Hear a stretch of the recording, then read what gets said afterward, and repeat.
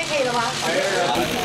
政治向中选会登记后，蓝绿总统参选人总该辩论了吧？我们主要的还是看这个辩论的呃辩辩论的主办单位啊，他们过去呃主办的这个成绩跟成效好不好？很多人抢着办，但小英心中早有人选。民进党更连几天大动作发声明，企图将辩论改为单一电视台主办，要打破从二零零四年陈水扁连战连续三届总统大选所立下由四大报、中央社、公视联合举办的惯例。跨媒体的平台，包括整个拍摄的角度跟取材的角度，以及提问的人选，它都能够兼顾到比较广的这个收视权。啊，商业电视台它本身是单一的媒体之外，它也。盈利的性质，当然一般来说也比较诉求于特定观众。传播学者批评单一媒体举办代表性不足，总统府前副秘书长罗志强更三问蔡英文，质疑主办传统，蔡英文为何要打破？还说四报一设一台主办和单一电视台相比，谁比较中立性？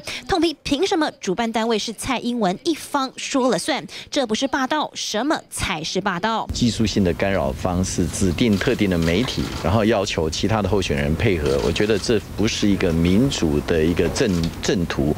那四报一社以及公司的举办，不是我发明的，这是本来就有的惯例。